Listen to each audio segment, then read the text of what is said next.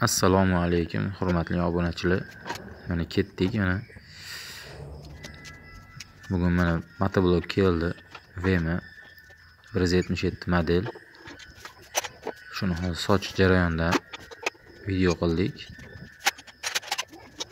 Buni aybi motorga уровеньdan pasayib ketgancha keyin vaqtida moy almashmagani hisobiga motor taqillagan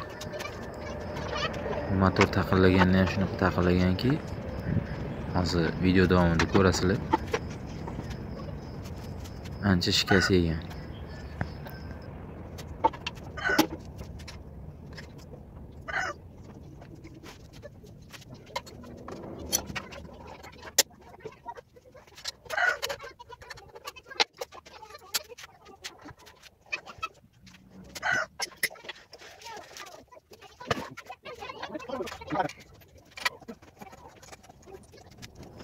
Motoblokni ishlatayotgan paytda imkon qadar motoblok toza bo'lsin qancha motoblok usti isqiriq bo'lsa shuncha tez qiziydi shuncha moy расход ko'payadi. Keyin o'zinglarni hamyoniligi zarar yetadi obuna bo'linglar qo'ng'iroqchani bosib qo'yinglar. Keyingi videolarimizni tomosha qilish uchun o'tkazib yubormaysizlar shunday.